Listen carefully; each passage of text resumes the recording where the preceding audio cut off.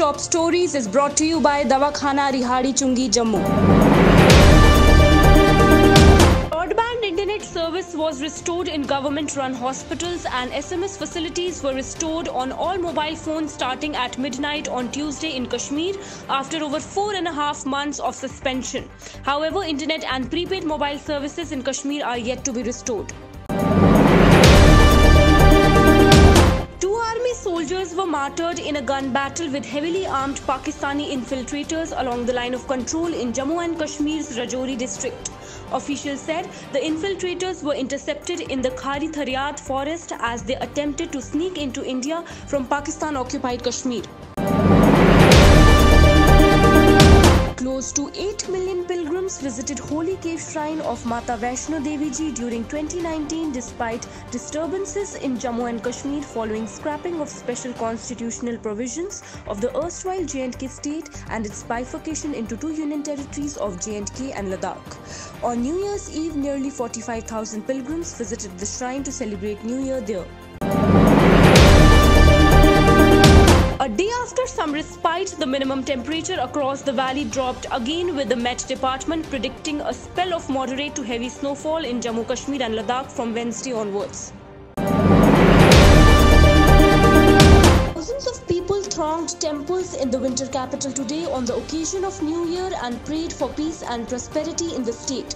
Devotees in large numbers visited Bavewali Mata and other temples and offered prayers. The temples were specially decorated for the occasion.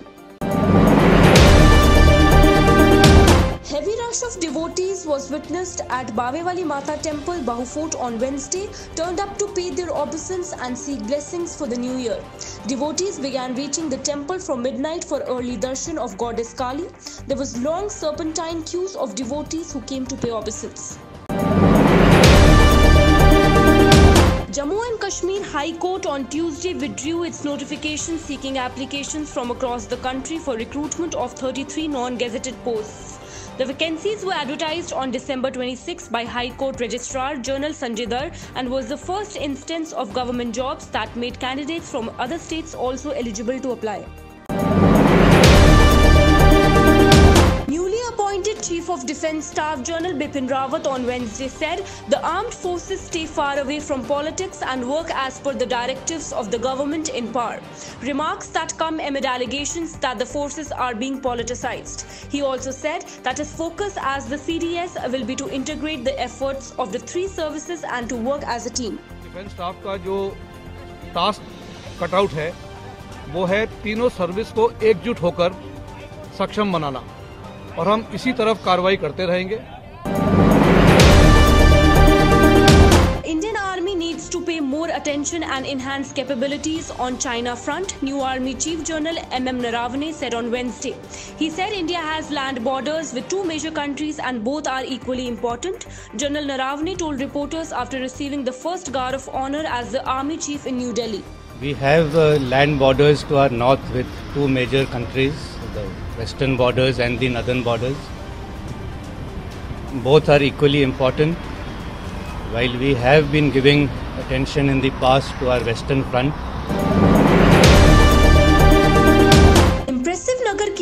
was organized in Poonch in connection with coming Guru Purab under the auspicious blessings of Guru Granth Sahib by the local Gurdwara Prabandhak Committee. The Nagar Kirtan started from Gurdwara Singh Sabha and after passing through Kila Bazaar, bus stand Nakhavali Road, Parade Bazaar, finally culminated at the place of its origin. A large number of people participated in the grand religious procession.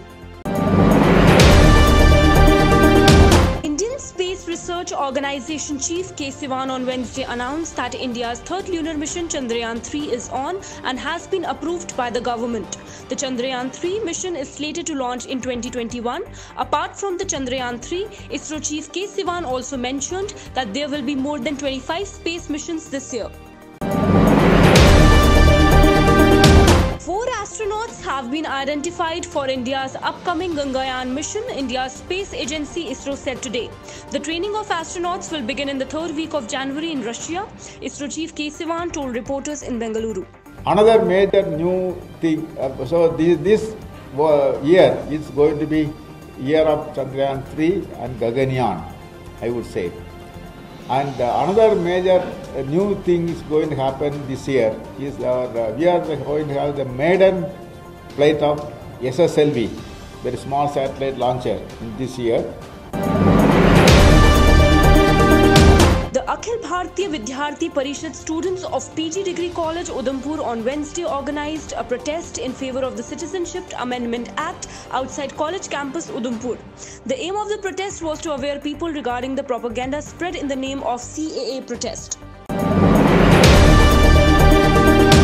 The Chamber of Traders Federation has welcomed the decision of the government to abolish toll tax in the J&K UT. Neeraj Anand, CTF president, while extending gratitude to the government, termed this as historic decision. He said it would minimize burden on common man.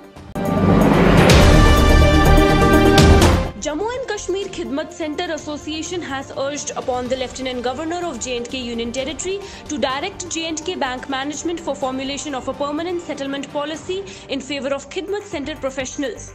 Raising the demand during a protest demonstration held today outside Press Club Jammu, Khidmat Center professionals in large number appealed the Lieutenant Governor to intervene into the matter.